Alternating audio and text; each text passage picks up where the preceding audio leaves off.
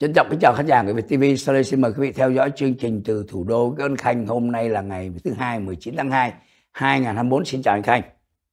Dạ vâng, và một lần nữa từ Washington tôi là Nguyễn Văn Khanh cũng xin gửi lời chào với quý vị khán thính giả của người Việt TV và gửi lời chào đến bạn đối dũng. Tôi thấy ở Washington DC ngày hôm nay người ta cứ thắc mắc là tại sao mà ông Manchin lại không lại không ra tranh cử tổng thống. Tôi đã tôi trả lời rồi, tôi bảo là có rất nhiều lý do. Cái lý do đầu tiên là ông cần không không thuộc chính đảng. Chúng ta trong một cái hệ thống Hoa Kỳ là hệ thống chính trị Hoa Kỳ là hệ thống lưỡng đảng. Anh không nằm ở trong đảng dân chủ hay đảng cộng hòa. Thì anh khó để mà có cửa thành công lắm. Đừng quên rằng là cuộc bầu cử là một cái cuộc, uh, à, cuộc bầu cử tổng thống là cuộc bầu cử của liên bang. Và cái số tiền người ta bây giờ người ta bỏ ra là cả tỷ đô la để cho một ứng cử viên để ra tranh cử đại diện cho đảng. Ông Manchin bây giờ ông ra ông tranh cử với tư cách độc lập hoặc là với tư cách một đảng thứ ba nào đó thì chắc chắn là ông không ăn khách đó là cái điểm đầu tiên cái điểm thứ nhì là nó có cả một cái hệ thống để mà vận động tranh cử và ngay trong giờ phút này thì chưa có đảng nào có một cái hệ thống để vận động tranh cử trên toàn lãnh thổ của nước Mỹ, như là đảng Dân Chủ và đảng Cộng Hòa. Thành ra là mà ông ra thì ông không, chắc chắn là ông không thể nào ông ờ, à, ông đạt được cái số phiếu mà ông mong đợi. Đó là chưa kể đến một cái chuyện thưa với anh và thưa cùng với lại quý vị khán thính giả, là ông còn phải ghi danh rồi là ông phải có bao nhiêu người ủng hộ thì là cả tên ông mới được ghi ở trong lá phiếu. Thế ra là biết đâu chừng là nếu ông ra thì đôi khi nước mỹ thì là có 50 tiểu bang, biết đâu chừng lúc ông ra ông chỉ được là, ông chỉ có thể ghi danh được là chừng 20 tiểu bang. 20 tiểu bang thì làm sao mà đắc cử? 30 tiểu bang làm sao mà đắc cử? 40 tiểu bang làm sao mà đắc cử? Thành ra rốt cuộc sau là ông ông phải rút lui. Cái chuyện đó là cái chuyện rất là bình thường. Tôi tôi nghĩ như vậy. Họ cứ bảo rằng là có thể là là bên bên này hoặc là bên kia làm áp lực để buộc ông Manchin là phải rời khỏi cuộc đua. Tôi xin được thưa một điều. Ông Manchin chưa hề vào cuộc đua. Thành ra không thể nói rằng ông đã rời cuộc đua được. Chỉ có một điều là ông Manchin ông biết rất là rõ ràng. Ông bảo rằng là nếu mà vào cuộc đua là phải để chiến thắng.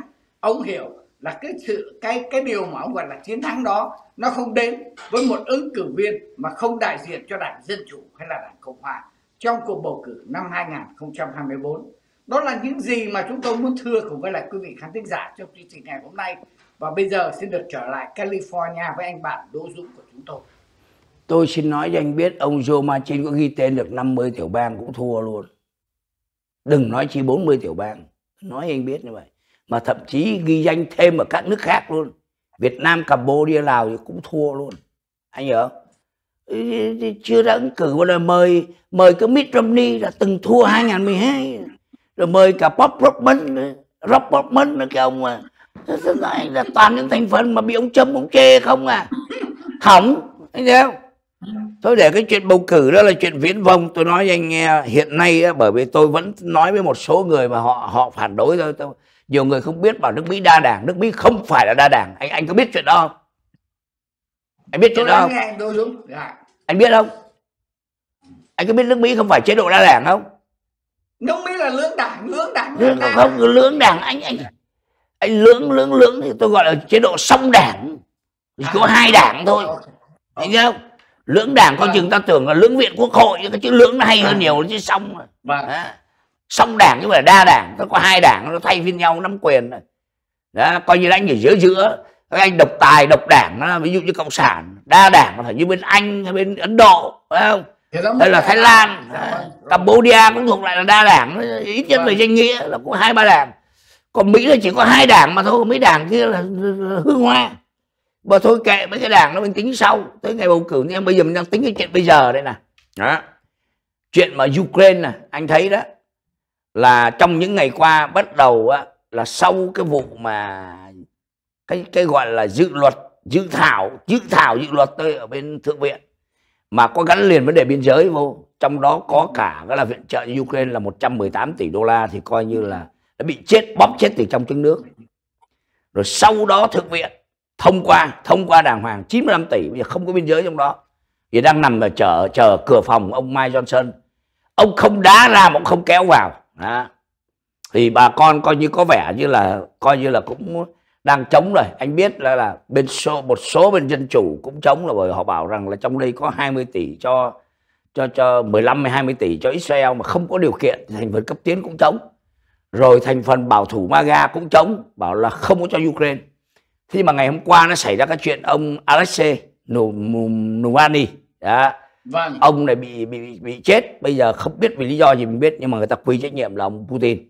Anh không thể chối cãi được. Chết trong tay anh là chịu mà nó lạ cái là thay vì như vậy chống Putin thì bây giờ bên Cộng Hòa lại là không chống. À, đấy mấy chị thì điển hình là ngày hôm qua công thượng nghị sĩ Ron Johnson của tiểu bang Wisconsin nó bảo tôi không thích cái chuyện này. Nhưng mà chúng ta không thể thắng Putin Putin đang thắng. Putin sẽ không thất bại. Và càng ngày càng có nhiều dân cử cộng hòa mặc dù vẫn chỉ trích ông Putin nhưng mà vẫn theo ông ông, ông Donald Trump nói cách khác là họ sợ ông Trump. Và đi sang nữa chúng ta thấy đó tôi nói là hơi dài giới thiệu để tôi đặt câu hỏi với anh.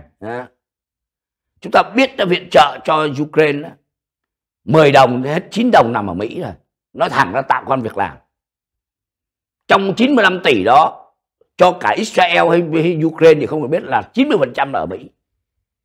Và chính vì vậy mà ngay cả bên cộng hòa là nhiều người họ ủng hộ cái chuyện này. Tạo công việc làm. Bán vũ khí người ta vẫn thường nói mà ở đâu mà có chiến tranh thì mỹ hưởng đúng không? Và anh cũng biết đó là gì. Ờ, tôi thấy anh viết ở trên facebook cách đây gần 50 năm. Việt Nam Cộng Hòa cũng bị Mỹ chơi và bị một cái làn sóng như thế. Chống chiến tranh để rồi Mỹ không viện trợ cho Việt Nam. Rồi bây giờ tới phiên là Ukraine cũng nằm trong số phận giống Việt Nam Cộng Hòa. À, thế thì anh nhưng mà hồi trước á, cách đây gần 50 năm là dân chúng họ phản đối cuộc chiến tại Việt Nam còn bây giờ là dân chúng không phản đối mà là ông Donald Trump phản đối mà không phải là ông phản đối vì cái gì đó. Mà ông chỉ muốn cho ông Biden thất bại thôi và ông ủng hộ ông Putin. Anh thấy không? Cái vụ ngày hôm qua bị bà Nikki Haley chửi sắp mặt luôn. Sáng nay mới tuyên bố cái vụ Nivani mà ông là coi ông Putin giống như là một một là người là đáng kính để ông bảo tôi mong được như ông Putin mong được như ông Tập Cận Bình mong được như ông, ông, ông, ông Kim Jong Un. Kim Jong người độc tài như thế mà bây giờ đảng cộng hòa tôi thẳng với anh luôn họ chẳng tốt lành họ sợ ông ông ông ông trump rồi chả có gì cho nên họ chống cái chuyện này. Bây giờ nói cách khác. Người ta bảo rằng các thành viên đảng cộng hòa những những người cộng hòa này vì sợ ông trump không dám ủng hộ cho ukraine vì sợ ông trump mà làm hại đất nước hoa kỳ là bởi vì anh không tạo ra được việc làm ở nước mỹ qua số tiền đó.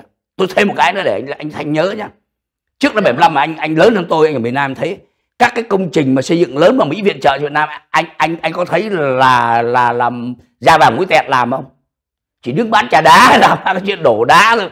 Còn thằng cái thằng mà lái lái xe máy cày hay là xe đất của hãng RMK với anh mà đứng đứng đứng mà mà chỉ trỏ là bắt xanh bù lô tóc bằng xanh nhỏ anh thấy không? Anh không nhận đâu. Dạ vâng. đứng không thì như vậy khi mà anh chống cái này là tức là anh hại nước Mỹ. Câu hỏi đó nghe có được không? Xin mời anh. Câu trả lời là tôi cũng nhìn giống y như anh Đô Dũng là cái công việc là bây giờ mình nói rằng là mình viện trợ cho Ukraine nhưng mà ở một cái góc độ nào đó là mình phải nhìn nhận tức là cái kỹ nghệ quốc phòng của Hoa Kỳ nhờ đó mà phát triển. Kỹ nghệ Hoa Kỳ uh, uh, kỹ nghệ quốc phòng của Hoa Kỳ nhờ đó mà tạo thêm được công an việc làm cho người dân. Cái điều đó là cái điều hoàn toàn đúng. Hiện tại bây giờ thì không ai phủ nhận được là cái người mà chống đối cái người mà không đồng ý cái chuyện Ukraine thì không ai khác hơn chính là ông Donald Trump ngay cả những vị à, thượng nghị sĩ những vị dân biểu của đảng cộng hòa cũng nói cái điều đó. Và ai cũng biết rằng là ông Johnson bây giờ là ông cũng ông cũng hiểu. Và người ta đặt ra câu hỏi rằng là nếu mà ông Johnson mà bây giờ ông ấy cố gắng ông đi đi đi một bước nữa đi cố gắng anh đã can đảm anh can đảm thêm anh đưa cái vấn đề này ra để mà à, trước diễn đàn hạ viện để mà bỏ phiếu thì là mọi chuyện đã xong xuôi. Y như là cái câu chuyện ngày hôm qua bà Listini bà bảo rằng là kể cả cái chuyện là bây giờ nếu mà đưa cái đèn này ra rồi sau đó là ông um, ông Mike Johnson cũng bị mất cái ghế chủ tịch hạ viện thì bà bảo nó cũng rất là xứng đáng không có sao cả. Bởi vì anh đã làm một công việc phải mà anh cần phải làm. Nhưng mà rất tiếc thưa với anh Đỗ Dũng và thưa cũng với là quý vị khán thính giả. Bây giờ thường như tôi thấy là ai cũng e ngại người ta e ngại là vì năm nay là năm bầu cử là điểm thứ nhất. Cái điểm thứ nhì là bây giờ nếu mà lấn chấn là đến tháng 11 này là mất ghế thì là cũng lại là khổ nữa. Về tự nhiên phải đi tìm việc làm thì cái đó cũng khó khăn. Thật ra rốt cuộc sau là tôi không biết là cái câu chuyện này nó sẽ như thế nào. Nhưng mà cái điều anh Đô Dũng nói rất là đúng. Chúng ta tặng cho Ukraine một ờ, uh, 40 tỷ không có nghĩa là chúng ta đưa 40 tỷ đô la tiền mặt sang Ukraine. 40 tỷ đó thì là ít nhất là cũng phải 39 tỷ nằm ở tại nước Mỹ tạo công an việc làm cho người dân điều đó là cái điều hoàn toàn đúng. Thưa với lại anh Đỗ Dũng. Vâng tôi cũng hiểu uh, cái điều anh nói. Thực sự ra thì uh, các vị dân cử tôi nói thẳng luôn họ sợ cái khối cử tri của ông Trump. Phải nói là ông Trump ông rất mạnh ông lên tiếng mạnh mẽ và ai cũng ngán. Và vì cái cơ cấu bầu cử mà sơ bộ của đảng cộng hòa cho nên anh mà bỏ phiếu hay là anh đem ra là anh bị bị giết ngay từ trong trong sơ bộ chứ không có cái là là là là là, là, là đợi tới không đi xa hơn gọi là bầu bầu cử uh, Trung Quốc. Anh nhớ bầu cử Trung Quốc họ không sợ bởi vì trong cái địa hạt nó có thể họ làm cái điều mà đúng cái đất nước thì cử tri dù là cộng hòa dân chủ gì người ta vẫn bầu họ. Nhưng mà nếu họ làm ngược thì có thể cử, cử tri MAGA tiêu diệt họ ngay ở trong ngay cái ờ, bầu cử sơ bộ. Thế thì bây giờ nó dẫn đến câu hỏi thứ nhì của tôi với anh này anh có nghĩ là bây giờ ông Mike Johnson tìm cách nào đó bai thai câu giờ để làm sao qua những cái đợt bầu cử sơ bộ ít nhất là qua cái Super Tuesday. Nó ngã ngũ để lúc đó họ mới đưa ra bầu. Thì lúc đó là thưa anh tôi nói ví dụ nha tôi là một dân biểu cộng hòa. Trong bầu cử sơ bộ ví dụ chỉ có hai ba ngàn người bầu thôi. Mà mà cộng hòa mà là họ bầu là tôi chết liền đúng không?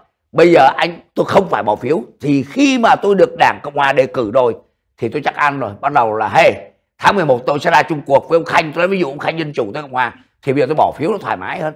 À, nói vậy có, có có đúng không? Liệu liệu ông johnson có thể câu giờ qua cái gọi là primary này để cho các vị uh, dân biểu đặc biệt là dân biểu thôi sự, sự việc là xong rồi đúng không? Để họ thoải mái. Anh anh có nghĩ là ông johnson có thể làm điều đó không thưa anh? Tôi nghĩ rằng là cái điều đó cũng có thể xảy ra nhưng mà tôi thấy có vẻ khó khăn quá. Cái lý do rất là dễ hiểu là hầu như là tất cả mọi người bây giờ là à, họ chưa có làm một điều tức là chưa có ngồi xuống đặt bút ký giấy là cam kết là sẽ sẽ làm đúng những gì mà ông Donald Trump muốn. Nhưng mà rõ ràng là họ đang làm những điều mà ông Donald Trump muốn thành ra là bởi như vậy. À, tôi không nghĩ rằng là họ sẽ đợi cho đến sau khi mà tôi qua được vòng sơ bộ tôi nắm chắc là tôi được đại diện cho đảng rồi ra tranh cử dân biểu rồi sau đó là tôi muốn thay đổi ý kiến thì tôi tôi thay đổi. Tôi không nghĩ là cái điều đó sẽ xảy ra. Tôi chỉ nghĩ là như thế này là ông ờ, Mike Johnson có thể là ông sẽ phải thương lượng. Với lại nhóm Freedom Caucus là một nhóm MAGA là hai. Ông phải thương lượng rồi là ông sẽ bảo là bây giờ đây là cái câu chuyện. Ông sẽ phải trình bày cho biết là đây là câu chuyện của thế giới. Và cái này nó ảnh hưởng đến an ninh của quốc gia. À, mặc dù rằng là à, Ukraine là nằm cách xa Mỹ đó là 9 10 tiếng đồng hồ máy bay nhưng mà ông bảo đây là cái câu chuyện của về vấn đề an ninh của quốc gia và an, an ninh cho toàn thế giới. Thành ra là quý vị phải hiểu cho cái điều đó và chúng ta bắt buộc chúng ta phải làm. Làm như thế nào thì chưa rõ ông nói như thế nào chưa rõ nhưng mà tôi nghĩ là cái giải pháp đó là cái giải pháp mà ông có thể làm được. Vì, vì cho đến giờ phút này ông vẫn chưa nói chuyện nhưng mà ở phía bên kia là họ đã bắn tiếng cho biết anh đừng có đụng đến chuyện này anh đụng đến chuyện này là anh lại trở thành Kevin McCarthy thứ hai. Thành ra ông e ngại cái chỗ đó thôi.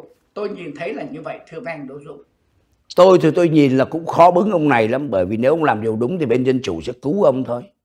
Nó không phải ở cái chuyện đó mà nó ở những cái chuyện khác nó lấn cấn trong cái chuyện à, quan điểm và cái chuyện quan hệ cá nhân này kia vân vân vân vân. Hay là ông sợ maga nó lôi cả vợ cả con ông ra nó xử uh, kiểu và, và trên mạng đó thì nó mệt. Vâng. Nhưng mà bây giờ nó qua một cái chuyện khác bây giờ là chuyện nội bộ nước mỹ thì tôi hỏi anh thế này.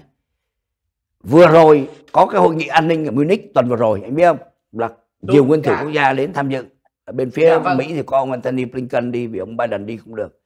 Thì ở đó ông zelensky tổng thống của ukraine ngoài cái chuyện được liên âu hứa là viện trợ hơn 50 tỷ đô la hồi cách đây hồi tháng trước vừa rồi ông lại ký được thêm hai cái hiệp ước hợp tác uh, quân sự nữa uh, hỗ trợ với lại pháp và đức.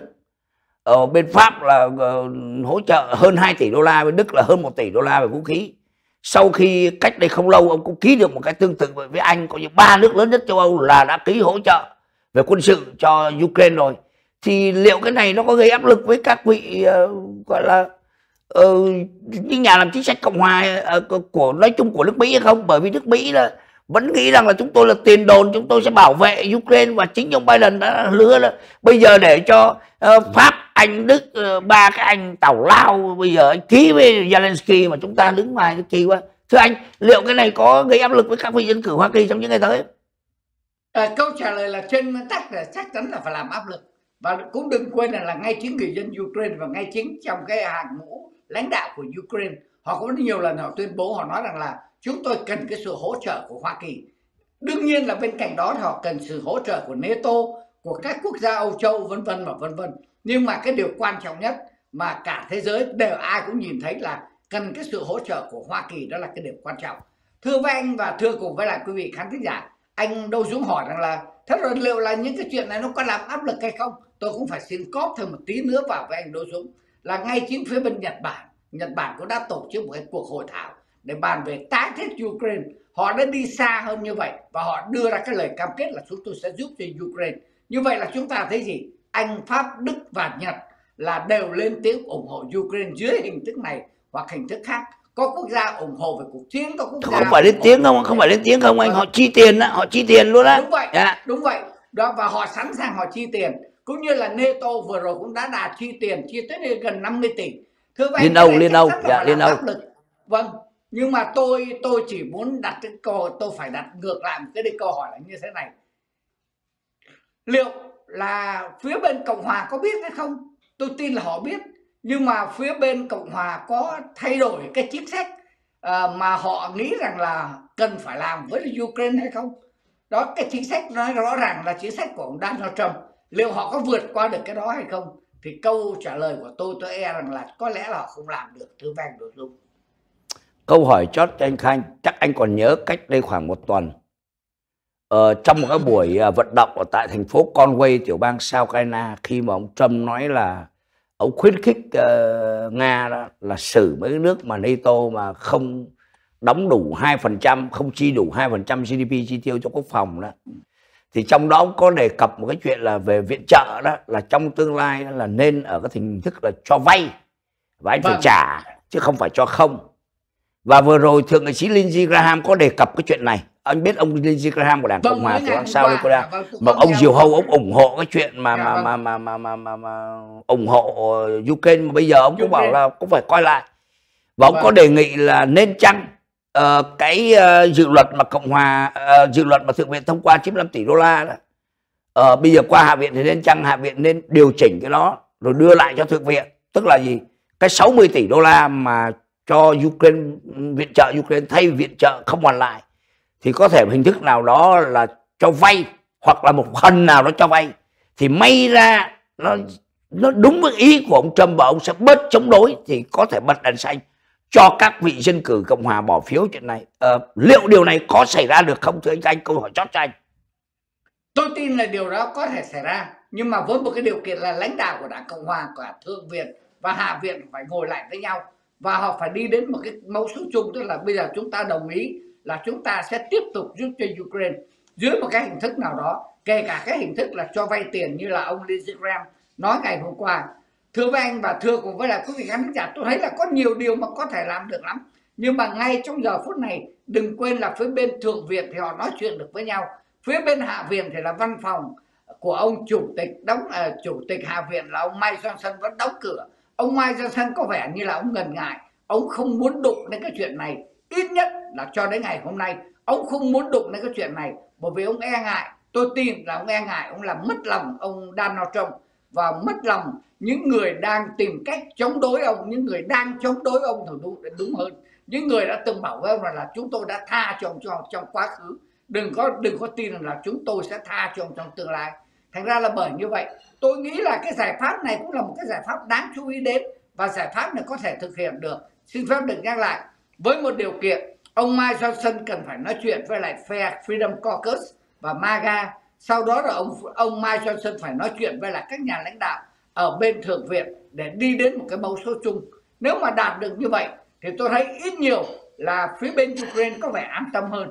Chứ còn ngay trong giờ phút này thì thưa với anh Đỗ Dũng và thưa cùng với lại quý vị khán thính giả tôi e rằng là à, nếu mà họ lắc đầu với Ukraine thì thì với cá nhân tôi tôi nghĩ rằng là như vậy thì là sớm muộn gì thì cũng trao Ukraine cho cho Nga. Sớm muộn gì thì Putin cũng là người chiến thắng. Đó là cái điều không ai muốn thấy nhưng mà nhưng mà làm sao để mà đem lại được chiến thắng cho Ukraine không phải là cái chuyện dễ dàng cho cái tình hình với cái tình hình chính trị ở tại Hoa Kỳ hiện nay đó là điểm mà tôi muốn nói thưa với anh Đỗ Dũng. Cảm ơn khanh nhất nhiều cảm ơn khán giả theo dõi chương trình hôm nay. Chúng tôi xin hẹn quý vào chương trình ngày mai. Dạ vâng xin cảm ơn Đỗ Dũng và cảm ơn quý vị khán thính giả. Một lần nữa từ Washington tôi là Nguyễn Văn Khanh chương trình đặc biệt cho người Việt TV Thank you.